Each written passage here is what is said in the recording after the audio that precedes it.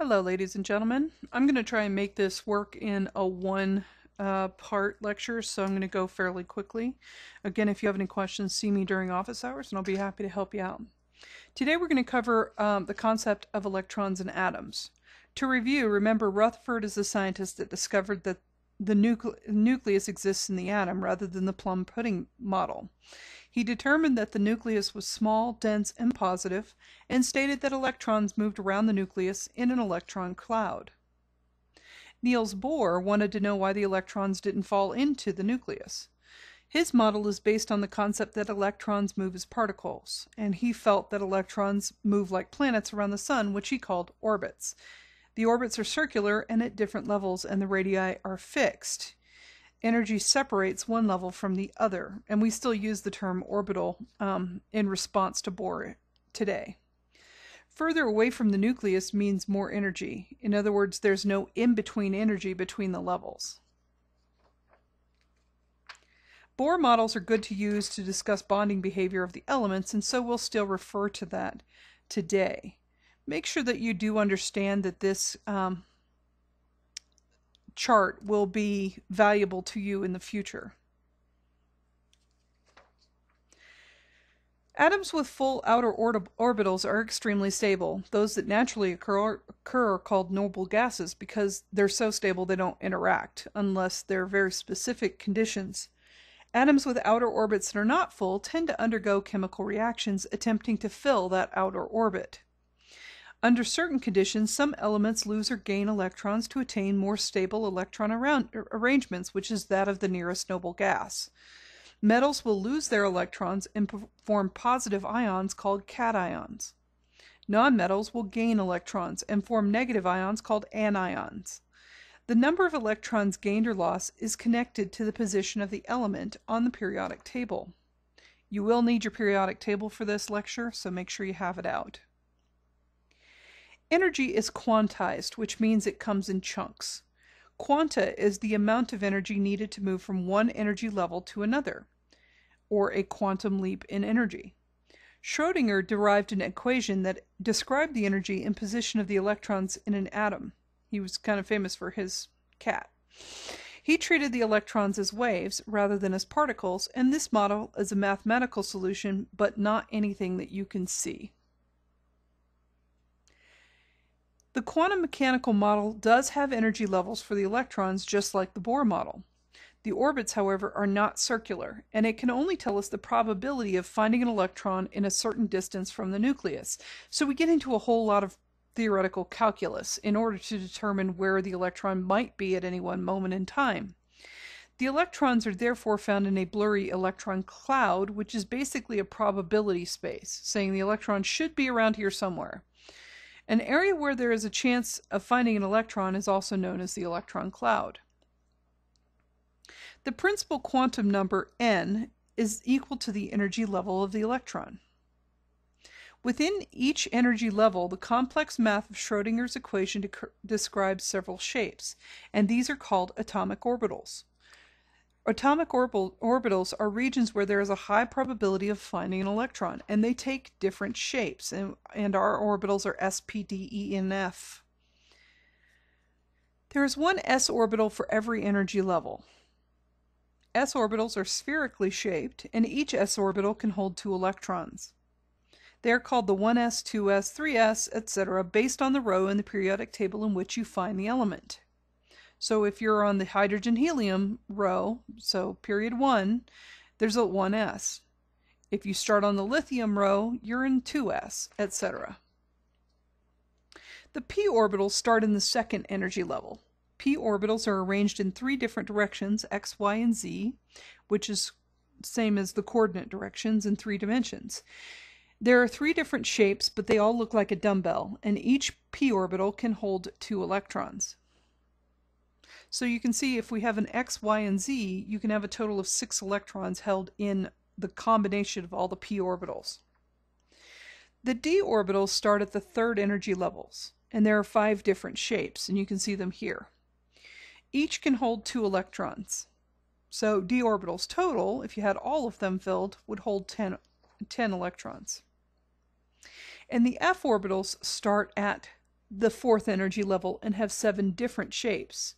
Each shape can hold two electrons, so that means that total f orbitals, if they're all filled, can hold 14. So here's a quick summary of the S, P, D, and F. Notice I left off E.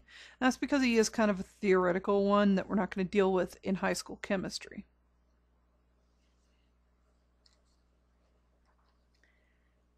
The first energy level only has an s orbital and only two electrons. So you can write it as 1s2 if you had the helium um, element, for example. In the second element, it has s and p orbitals. So your total is 2s2, 2p6. 2 can fit in the s orbital, and 6 can fill all of the p orbitals. So there's 8 total electrons found in this energy level. The rule for filling is that the lowest energy is filled first, and the energy levels do overlap. The orbitals don't fill up in order of energy level, though. There's a counting system to help you with this, and each box is an orbital shape, and each box has room for two electrons.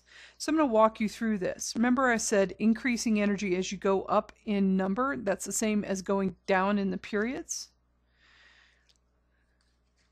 So, the way electrons are arranged in atoms are referred to as the electron configurations. Configurations follow the Aufbau principle, which means that electrons enter the lowest energy level first. This causes difficulties because of, of the overlap of the orbitals of different energies. The Pauli exclusion principle says that at most two electrons exist per orbital, but have different spins. And Hund's rule says that when the electrons occupy the orbitals of equal energy, they don't pair up until they have to. In other words, they spread out as far as they can first, and then they start pairing up. So let's determine the electron configuration for phosphorus. We need to account for 15 electrons. So the first two electrons go into the 1s orbital because that's the lowest energy. So there's our 1 and 2. Notice the opposite signs because of the different spins. So you have only 13 more to go. Now we're going to go to the 2 um, s orbital. 1 and 2, that's 4. Now there's 11 left. The next electrons go into the 2p orbital, and you'll see here that they fill up the one spin and spread out as much as possible, then they fill up as a second. Now there's only five more left. So we go up to the next energy level, which is 3s. So one, two, three more left.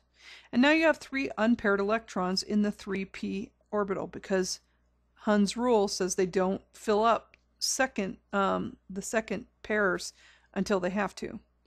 So the final notation is 1s2, 2s2, 2p6, 3s2, 3p3.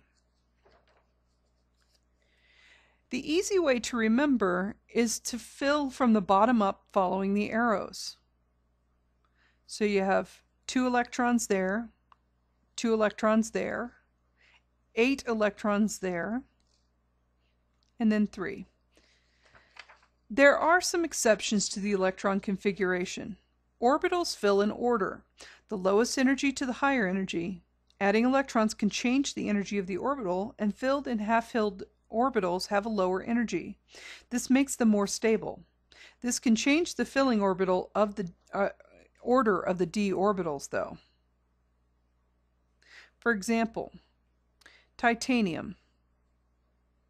Titanium has 22 electrons, so if we fill the boxes correctly, we have 1s2, 2p6, 3s2, 3p6, 3d2, and 4s2. Vanadium has 23, so that's 1s2, 2s2, 2p6, 3s2, 3p6, 3d3, 4s2. And chromium has 1s2, 2s2, 2p6, 3s2, 3p6, 3d4, and 4s2 is expected, but it is wrong. Because chromium is actually 1s2, 2s2, 2p6, 3s2, 3p6, 3d5, 4s1. This gives us two half-filled orbitals because they are slightly lower in energy and more stable. The same principle applies to copper. So copper's electron configuration is 3d10-4s1. This gives us one filled orbital and one half-filled orbital. Remember these exceptions. D4S2 becomes D5S1, and D9S2 becomes D10S1. Okay, and that works for the transition metals. You'll just need to remember that rule. Okay, ladies and gentlemen, that concludes this lecture. I managed to get it in in under 10 and a half minutes. So I hope you have a great time. Make sure that you practice with this material because it will bite you in the butt if you don't. See me during office hours if you have any questions, and have a great day.